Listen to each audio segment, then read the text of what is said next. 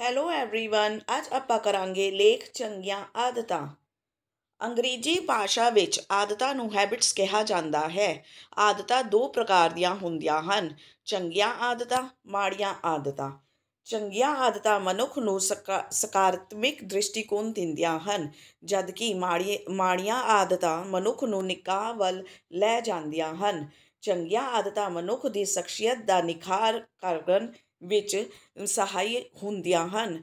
ਘਰ ਪਰਿਵਾਰ ਵਿੱਚ ਬੱਚੇ ਨੂੰ ਚੰਗੀਆਂ ਆਦਤਾਂ ਸਿਖਾਈਆਂ ਜਾਂਦੀਆਂ ਹਨ। ਸਕੂਲਾਂ ਵਿੱਚ ਅਧਿਆਪਕ ਵੀ ਪੜ੍ਹਾਈ ਦੇ ਨਾਲ ਨਾਲ ਬੱਚੇ ਨੂੰ ਚੰਗੀਆਂ ਆਦਤਾਂ ਸਿਖਾਉਂਦੇ ਹਨ। ਹੌਲੀ ਹੌਲੀ ਇਹ ਚੰਗੀਆਂ ਆਦਤਾਂ ਪਰਪੱਕ ਬਣ ਜਾਂਦੀਆਂ ਹਨ ਤੇ ਮਨੁੱਖ ਦੀ ਜ਼ਿੰਦਗੀ ਦਾ ਅਹਿਮ ਅੰਗ ਬਣ ਜਾਂਦੀਆਂ ਹਨ। ਬਚਪਨ ਤੋਂ ਹੀ ਬੱਚਿਆਂ ਨੂੰ ਆਸ਼ਾਵਾਦੀ ਸੋਚ ਤੇ ਆਸ਼ਾਵਾਦੀ ਰਹਿਣ ਦੀ ਆਦਤ ਪਾਉਣੀ ਚਾਹੀਦੀ ਹੈ। ਤਿੰਨ ਸਾਲ ਦੀ ਉਮਰ ਵਿੱਚ ਪਈ, ਸੌਰੀ, ਬਣੀ ਆਦਤ ਮਨੁੱਖ ਦੇ ਮਰਨ ਤੱਕ ਉਹਦੇ ਨਾਲ ਚੱਲਦੀ ਹੈ। ਚੰਗੀਆਂ ਆਦਤਾਂ ਅਪਣਾਉਣ ਲਈ ਮਨੁੱਖ ਨੂੰ ਸਮਾਂ ਲੱਗਦਾ ਹੈ, ਪਰ ਜਦੋਂ ਇਹ ਚੰਗੀਆਂ ਆਦਤਾਂ ਪੱਕ ਜਾਂਦੀਆਂ ਹਨ ਤਾਂ ਮਨੁੱਖੀ ਗੁਣਾਂ ਦੇ ਰੂਪ ਵਿੱਚ ਉਭਰ ਕੇ ਸਾਹਮਣੇ ਆਉਂਦੀਆਂ ਹਨ।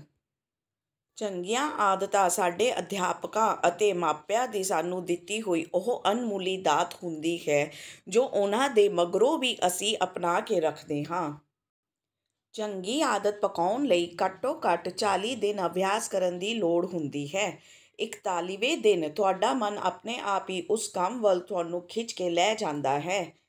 ਜੇਕਰ ਮਨੁੱਖ ਮਨੁੱਖ ਕੁਝ ਚੰਗੀਆਂ ਆਦਤਾਂ ਅਪਣਾ ਲਵੇ, ਜਿਵੇਂ ਮਿੱਠਾ ਬੋਲਣਾ, ਸੱਚ ਬੋਲਣਾ, ਵੱਡਿਆਂ ਦਾ ਸਤਿਕਾਰ ਕਰਨਾ, ਸਵੇਰੇ ਜਲਦੀ ਉੱਠਣਾ, ਮਿਹਨਤ ਕਰਨੀ, ਦੂਜਿਆਂ ਦੀ ਮਦਦ ਕਰਨੀ, ਹਰ ਰੋਜ਼ ਸਕੂਲ ਜਾਣਾ, ਕੋਈ ਵੀ ਖੇਡ ਵਧੀਆ ਢੰਗ ਨਾਲ ਖੇਡਣੀ, ਵਧੀਆ ਗਾਉਣਾ, ਵਧੀਆ ਨੱਚਣ, ਚੰਗਾ ਅਤੇ ਉਸਾਰੂ ਸੋਚਣ ਦੀ, ਸਮੇਂ ਦੀ ਕਦਰ ਕਰਨ ਦੀ, ਆਪਣੇ ਆਪ ਨੂੰ ਸੋਹਣਾ ਤੇ ਸਾਫ਼ ਸੁਥਰਾ ਰੱਖਣ ਦੀ, ਕਾਨੂੰਨ ਦੀ ਪਾਲਣਾ ਕਰਨ ਆਦਿ ਆਦਤਾਂ ਅਪਣਾ ਲੈ, ਤਾਂ ਉਸ ਦੀ ਸ਼ਖਸੀਅਤ ਇੱਕ ਪ੍ਰਭਾਵਸ਼ਾਲੀ ਵਿਅਕਤੀ ਵਾਲੀ ਹੋ ਨਿਬੜਦੀ ਹੈ।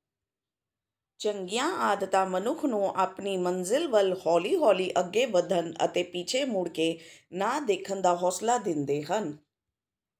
ਕਿਸੇ ਵੀ ਚੰਗੀ ਆਦਤ ਨੂੰ ਅਪਣਾਉਣ ਤੇ ਬਾਅਦ ਅਭਿਆਸ ਜ਼ਰੂਰੀ ਹੈ।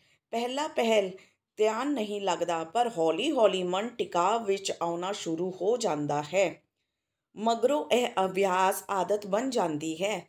ਵਾਰ ਵਾਰ ਅਭਿਆਸ ਕਰਨ ਤੋਂ ਬਾਅਦ ਵੀ ਉਹ ਆਦਤ ਪੱਕ ਜਾਂਦੀ ਹੈ। ਅਤੇ ਸਾਡੇ ਸੁਭਾਅ ਦਾ ਅੰਗ ਬਣ ਜਾਂਦੀ ਹੈ। ਮਨੁੱਖ ਥੋੜੀ ਜਿਹੀ ਮਿਹਨਤ ਨਾਲ ਬਹੁਤ ਕੁਝ ਕਰ ਸਕਦਾ ਹੈ। ਆਦਤਾਂ ਨੂੰ ਬਦਲਣ ਵਿੱਚ ਪਰਿਵਾਰ ਦਾ ਵੀ ਵੱਡਾ ਯੋਗਦਾਨ ਹੁੰਦਾ ਹੈ।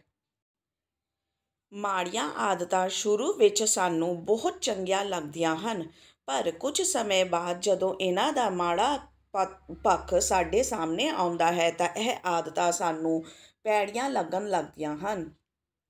ਮਾੜੀਆਂ ਆਦਤਾਂ ਨੂੰ ਅਸੀਂ ਇਸ ਕਰਕੇ ਵੀ ਦੁਹਰਾਉਂਦੇ ਹਾਂ ਕਿਉਂਕਿ ਇਸ ਨਾਲ ਸਾਨੂੰ ਰਾਹਤ ਮਹਿਸੂਸ ਹੁੰਦੀ ਹੈ। ਇਸ ਦੇ ਉਲਟ ਚੰਗੀਆਂ ਆਦਤਾਂ ਸਾਨੂੰ ਸ਼ੁਰੂ ਵਿੱਚ ਔਖੀਆਂ ਲੱਗਦੀਆਂ ਹਨ, ਪਰ ਬਾਅਦ ਵਿੱਚ ਜਦੋਂ ਚੰਗਿਆਈ ਸਾਹਮਣੇ ਆਉਣ ਲੱਗਦੀ ਹੈ ਤਾਂ ਇਹ ਹੌਲੀ-ਹੌਲੀ ਸਾਡੇ ਜੀਵਨ ਦਾ ਅੰਗ ਬਣ ਜਾਂਦੀ ਹਾਂ।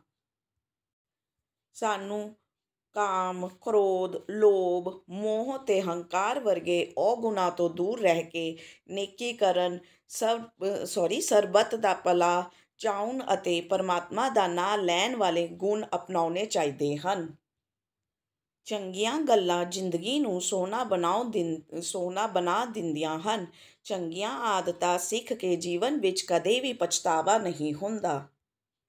ਇਸ ਲਈ ਮਨੁੱਖ ਨੂੰ ਆਪਣੀ ਜ਼ਿੰਦਗੀ ਨੂੰ ਸੋਹਣਾ ਬਣਾਉਣ ਲਈ ਚੰਗੀਆਂ ਆਦਤਾਂ ਨੂੰ ਜ਼ਰੂਰ ਅਪਣਾਉਣਾ ਚਾਹੀਦਾ ਹੈ। ਸ਼ਖਸੀਅਤ ਦੇ ਨਿਖਾਰ ਲਈ ਮਨੁੱਖ ਅੰਦਰ ਚੰਗੀਆਂ ਆਦਤਾਂ ਦਾ ਹੋਣਾ ਬੇहद ਜ਼ਰੂਰੀ ਹੈ।